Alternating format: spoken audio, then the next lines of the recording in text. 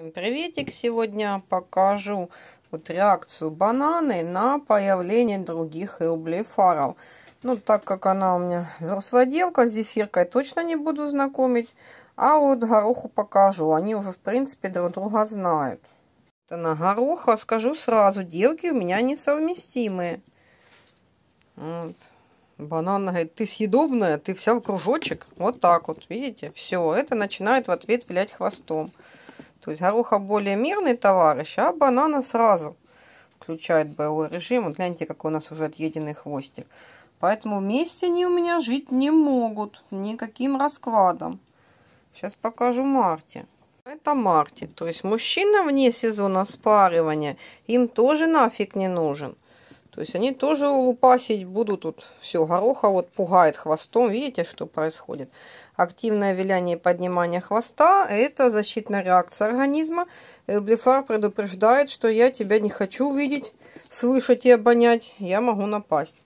А вот эта мадам сейчас еще и в хвост цепится. То есть банана такая. Она очень агрессивная девка. Поэтому вот даже она не принимает лишний раз боевые стойки, но сразу атакует, то есть без разговоров. А Марта девки, не ссорьтесь, скоро придет декабрь. Мы будем ходить по очереди на свидание. Чего вы, дамы, блин, успокойте свои нервы, все в порядке. Меня на всех хватит. Что банана серьезная мадам, разбойница. Нейтральный товарищ, его будут бить, он просто уйдет в сторону, сдачи никогда не даст. Ходилка такая, что сдачу дать может, но она сразу вот начинает хвостом предупреждать. Это классическое поведение у блефара. Стадия, вот, ну, если что-то пугает, типа предупреждение. Сейчас отгребете, господа. Но она предпочитает уйти от конфликта, убегает. Такой красивый хвостик, ну как не показать. Марти увидел банану. Не, Марти, она еще не хочет спариваться, еще рано.